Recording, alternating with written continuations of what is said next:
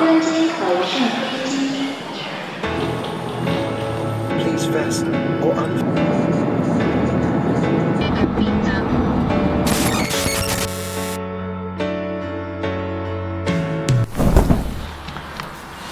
现在是上午的八点钟，我在百度贴吧找了一下，里面没有人愿意带路，而且提醒我小心被打。三河人才市场离深圳市中心只有几公里，被誉为大神的聚集地，打一天工玩三天，低消费十五块钱就能活一天，成为了大神们的传说。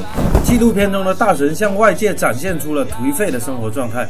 对于我来说，眼睛看到的、耳朵听到的不一定是真的。想要了解真相，必须身在其中。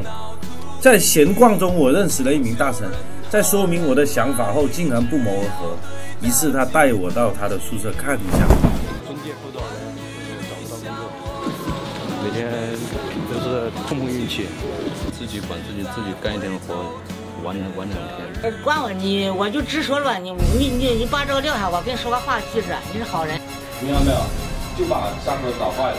山河一旦搞坏，那么谁都看不起你们，他就会越来越看不起你们。所以我这次来参加们去为中国这些年轻的出口气，中国这年轻的孩子都有志气，人穷志不穷。我说的对不对呀、只是过来偷拍而已，或者就是拿着这个相机过来偷拍。嗯，我们人看到了，直接跑，跑到服装店面，就在里面堵他，不叫他出来，把里面东西删，全部删完呀。我都看见他们，就是很多人就是直接，呃，用手机拍的也有，直接当场给你把手机摔了。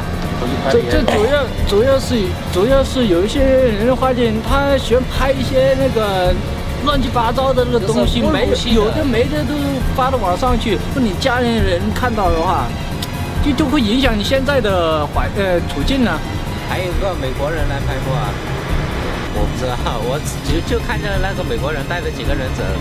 来这里转了一圈，这个包里放什么东西的话，我就看不清楚了。我一听我跟他讲过话，就结结巴巴的。没有设定剧本，没有设定台词，他们说我只负责听。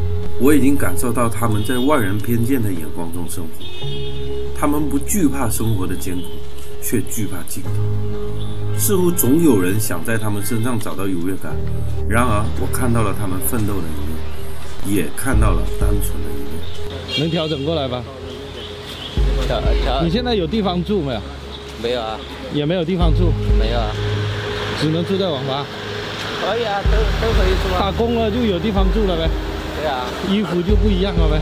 对啊，那你能能不能调整自己的状态？等下。能我现现现在就是我我寄存的包裹里面就有衣服啊，我这个衣服你不要看着这样，一千多块钱，啊，不开玩笑，那那那肯定有个商标的，是不是太平洋？你看是不是正正牌的太太平洋？对好吧，其实创业创业了好几次，也都没都没成功。现在只能说我一步一步的向目的地靠近，非常的艰难，可能是明年，也可能是今年。今年就想回来，对，为什么？因为我的目的还没找到。如果每个人都希望风风光光的回去，但我的目的还只差一步。看不起别人，如果要在乎别人的眼光，那事情多了去了。做一做日结，玩一下网，放松一下自己，把这些事都忘记，只能这样做。进过传销，啊？我进过传销，待过十几天，进了传销十几天，对，是怎么把你骗进去的？就就是朋友骗朋友嘛。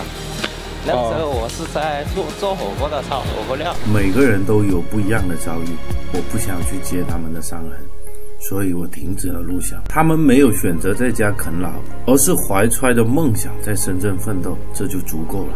我不想将别人的遭遇无限放大，博取同情。